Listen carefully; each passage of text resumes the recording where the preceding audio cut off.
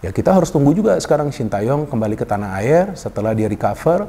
Kemudian PSSI harus segera memilih ya. Kalau menurut hemat saya lebih baik bulan ini sudah dipilih. Jadi gak mepet gitu. Walaupun ya sekarang dengan ketua umumnya Pak Erick Thohir kan segala sesuatunya ya serba cepat ya gitu istilahnya. Wah udahlah gak perlu tunggu sampai berbulan-bulan.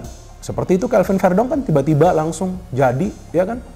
Terus langsung main lawan Filipina mainnya bagus lagi. Wah luar biasa ini ya. Jadi memang pemain-pemain keturunan Indonesia inilah yang meningkatkan level permainan dari timnas Indonesia. Jadi PSSI ini memilih pemain-pemain keturunan Indonesia bukan untuk menaikkan popularitas dari federasi atau juga dari timnas Indonesia enggak, tapi murni demi kebutuhan timnas Indonesia ini sesuai dengan kebutuhan. Kan pernah saya juga jelaskan jika tidak ada pemain-pemain keturunan Indonesia di skuad kita, yang sekarang tentunya mereka sudah menjadi pemain nasional semuanya, nggak mungkin permainan timnas kita bisa seperti sekarang ini sampai masuk ke round 3. Dan jangan lupa loh, timnas Indonesia kita sekarang sedang bersaing untuk lolos ke Piala Dunia, Bos. Bukan lagi untuk lolos ke Piala Asia, apalagi Piala AFF. Iya kan? Jadi yang menurut saya yang sebelumnya juga tuh timnas U16 tuh gagal menjadi juara Piala AFF seharusnya nggak perlu diperdebatkan juga ya, nggak perlu berisik juga kita. Karena kan nanti target mereka adalah bermain untuk kualifikasi Piala Asia kan, mereka harus masuk ke Piala Asia nanti. Jadi di sana nanti mereka harus fokus. Sama juga seperti U18 yang nanti akan bermain di Piala AFF, nggak perlu juara juga. Kalau bisa juara bagus, pasti dong kita mau juara. Tapi kalau nggak bisa nggak masalah karena target dari U18 itu yang nanti akan menjadi U20 adalah untuk lolos ke Piala Dunia. Nah, jawaban dari Pak Ketua, saya ingin menanyakan Pak Ketua, selamat malam. Ya, bagaimana perkembangan soal Martin Paes ini? Apakah dia tersedia untuk bermain paling tidak di bulan September?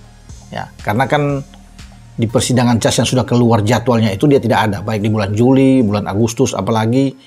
Nah, bagaimana? Apakah dia bisa diperjuangkan? Pak Ketua jawab dengan tegas bahwa izin belum, ya. Jadi belum bisa. Jadi memang kalau bisa dikatakan demikian jelas teman-teman ya, karena ini informasi langsung dari Pak Ketua, ya bukan dibuat-buat. Sehingga ketika Pak Ketua bilang begitu, saya bilang ya oke, okay. Ya berarti dia belum tersedia ya untuk bermain melawan uh, Arab Saudi dalam pertandingan pertama. Main di Arab pada tanggal 5 September kemudian kita lima hari kemudian pada tanggal 10 September balik di kandang menjamu Australia. Jadi Pais belum bisa ada di sana.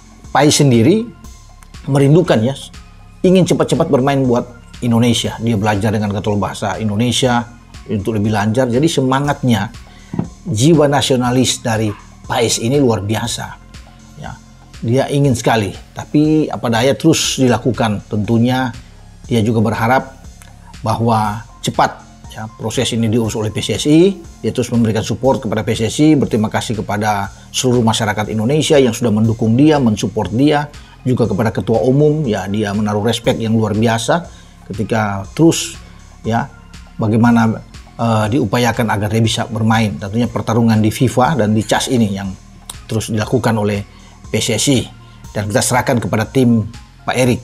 Namun yang satu poin penting buat teman-teman tahu bahwa saya sudah uh, menyambung ini apa yang diinginkan teman-teman semua sudah saya sambungkan ke Pak Ketua untuk menanyakan ketersediaan dia apakah bisa ternyata belum kata Pak Ketua. Uh, rank 34 ini yang kita incar kan, yang kita incar di mana Saudi dan Bahrain uh, ada ada di sana ditambah rank 5, 6 Cina dan kita. Jadi asumsi Saudi itu ambil rank 3, kita masih bisa rebutan ke rank 4. Karena gue tidak melihat kita lebih rendah daripada Bahrain dan China. Di atas kertas iya. Tapi perkembangan timnas kita itu kan begitu signifikan progresnya dan nyaris nggak ada pemain yang cedera pilihan juga lebih banyak. Sekarang Verdong masuk lagi. Gue nggak tahu mungkin May Silvers yang gue gue baca terus uh, mungkin Riedewald gue gue gue nggak tahu lah. Riedewald kayaknya susah karena dia pernah perkuat timnas Belanda um, cuman harusnya bisa karena Munir juga pernah perkuat uh, timnas Spanyol dan akhirnya memperkuat Maroko. Caranya gimana gue nggak tahu. Ya paling kekas dan lain-lain. Jadi di rank 3-4 ini peluang kita karena juara atau rank 3-4 di tiga grup nanti akan gabung jadi dua grup tiga negara tiga negara. Yang juara itu lolos. Dalam arti empat pertandingan kita main. Kalau runner up masih ada peluang lagi. Tapi kalau kita rank 5, rank 6 ya selesai. Nah, intinya adalah bagaimana kita bisa masuk rank 4 terutama di match home. Dan semoga rumputnya itu diperbaiki di GBK. GBK lagi revitalisasi rumput. Gue nggak ngerti maksudnya apa. But uh, pokoknya I don't care cara lo gimana, maunya gimana, nggak ada yang peduli. Yang kita peduli rumput ini harus benar. Kalau bicara home-nya bagaimana mau manfaatnya nih? Kalau mau bikin susah, Hmm. ini sih pikiran gila aja, pikiran ekstrimnya. Ya kasih kasih tempat yang menyulitkan lawan. Cuma jangan jadi kickback ke kita lagi. Contoh main siang kemarin kan jam jam 4. Kan sebetulnya juga bumerang buat tim sendiri. Jangan gitu sekarang misalnya. Way jauh lah ekstrimnya. Ini Mana? pikiran gilanya lah. Ke Papua misalnya. Mandala misalnya Jayapura gitu loh dengan penerbangan yang jauh mau mempersulit aja gitu loh persulit Oh, lawan berstrategi seperti itu ya. iya Dan itu kan jangan sebenarnya sekedar di misalnya GBK atau Surabaya lah Iya. kan rencana kan Surabaya dulu kan Iya. baru ada GBK nanti di tahun 2025 Itu fine-fine aja ya kalau kita mau fine fine aja karena lapangan masih sesuai dan sebagainya cuman apakah kita akan betul-betul dapat ambil keuntungan itu juga ya namanya orang jaminan. berupaya, well. eh namanya upaya lah Heeh. bikin susah bikin capek perjalanan Heeh. paling enggak kan perjalanan langsung Jakarta Jayapura kan 5 jam Hmm, hmm, hmm. kalau mau bikin bikin repot lawan bermain dalam Oke. situasi yang nggak biasa Sebelum lebih lanjut, jangan lupa klik tombol jempolnya, karena jempol kalian adalah bukti kalian cinta timnas Indonesia.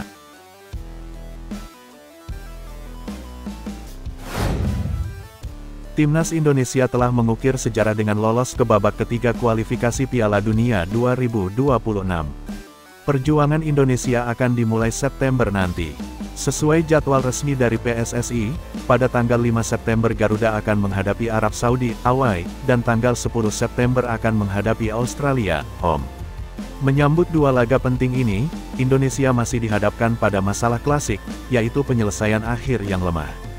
Analisis tersebut disampaikan oleh pengamat sepak bola Binder Singh. Ia menyarankan kepada PSSI untuk merekrut maksimal dua striker keturunan untuk memperkuat Indonesia. Dari sekian banyak nama yang beredar, Binder Singh menyoroti dua nama, di antaranya oleh Romeni dan Mauro Zelstra. Hingga saat ini, belum ada pernyataan resmi dari PSSI mengenai siapa yang akan dipilih, namun komunikasi antara PSSI dan para pemain diyakini sudah berjalan.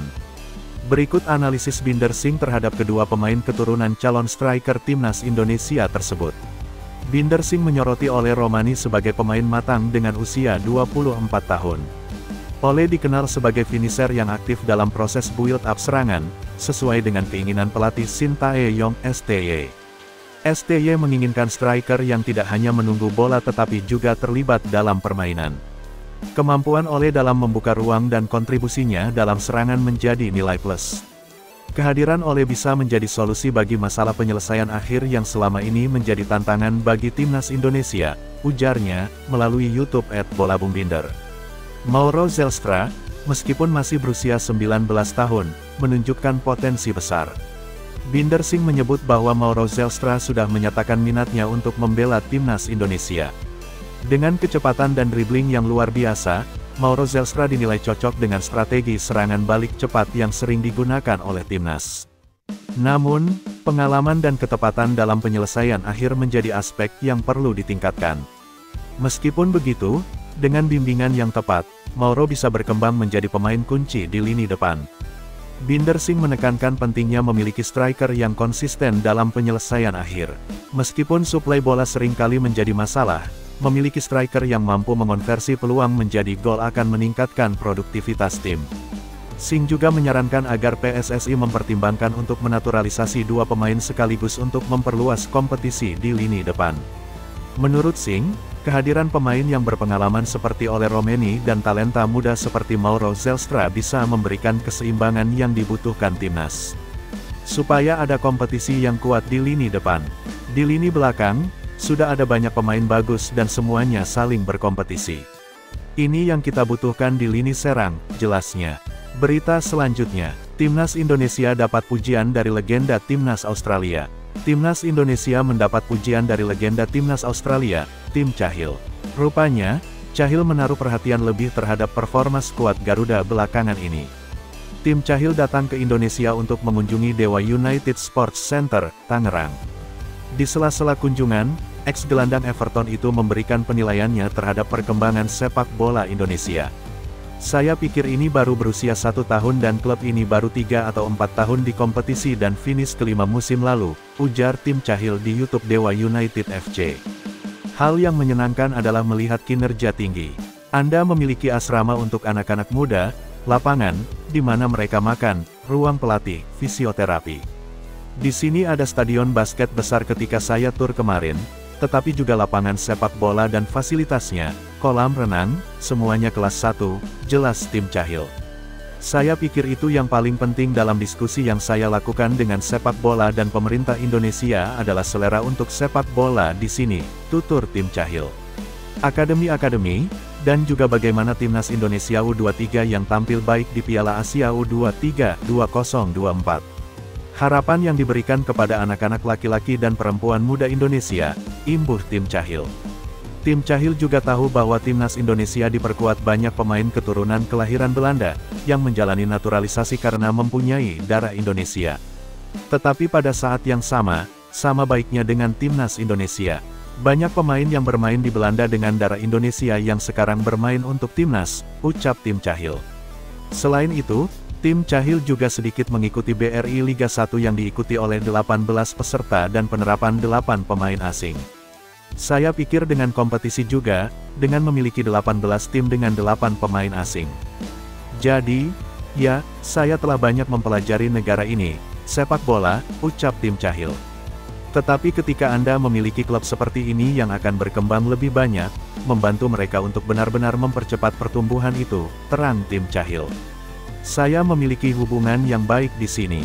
Jadi menyenangkan membangun hubungan ini dengan Presiden Dewa United, Ardian Satya Negara dan klub sepak bola lain di Indonesia dan membantu mereka tumbuh secara internasional dan global, ungkap pengoleksi 104 caps dan 49 gol plus 5 assist untuk Australia itu.